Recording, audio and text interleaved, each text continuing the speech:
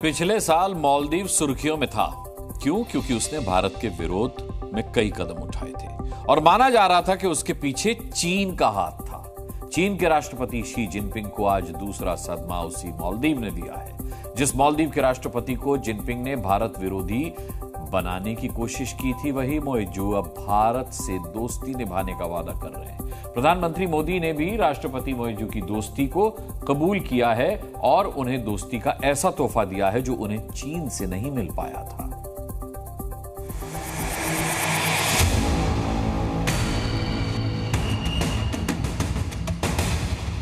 ये मुलाकात सबसे ज़्यादा चीन के राष्ट्रपति शी जिनपिंग को परेशान कर रही होगी।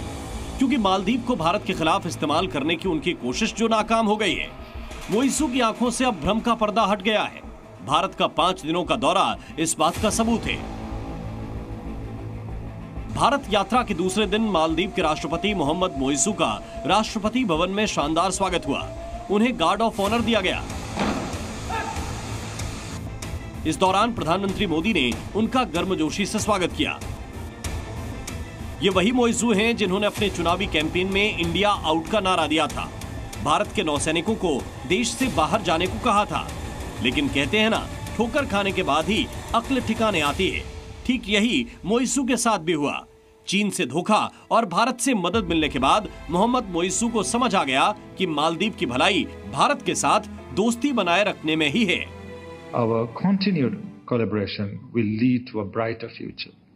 The Maldives will remain a true friend, committed to our shared vision of peace and development in our countries. Mohammad Muizzu ने प्रधानमंत्री मोदी के सामने वादा किया कि वो भारत के साथ हमेशा दोस्ती निभाएँगे देर से ही सही मोइसू को अपनी गलतियों का एहसास हुआ तो भारत ने भी बाहें फैलाकर दोस्त का स्वागत किया और न सिर्फ़ स्वागत किया बल्कि मालदीव को दोस्ती का तोहफा भी दिया नकदी की कमी से जूझ रहे मालदीव को 100 मिलियन अमेरिकी dollar treasury bill roll over देने पर सहमति बनी। भारत और मालदीव के बीच 40 करोड़ डॉलर के करेंसी स्वैप पर भी समझौता हुआ। प्रधानमंत्री मोदी और राष्ट्रपति मोइसू ने मालदीव में रुपे कार्ड भी लॉन्च किया। फ्रेंड्स, हमने रक्षा और सुरक्षा सहयोग के विभिन्न पहलुओं पर विस्तार से चर्चा की।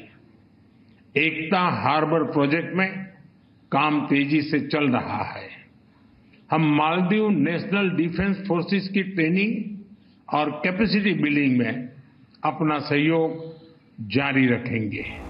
मालदीव की इकोनॉमी भारत के सहारे टिकी हुई है। भारत मालदीव के सैन्य इंफ्रास्ट्रक्चर टूरिज़्म और हेल्थ सेक्टर में मदद देता आया है।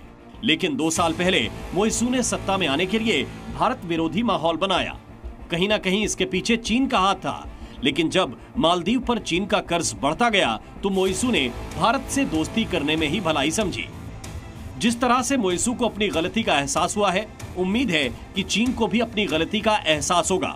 कम से कम, अब तो चीन को यह समझ जाना चाहिए कि भारत के पड़ोसी देशों को भड़काने वाली चाल उसकी ज़्यादा दिनों तक टिक नहीं पाती। Bureau report, Zee Media. Zee News.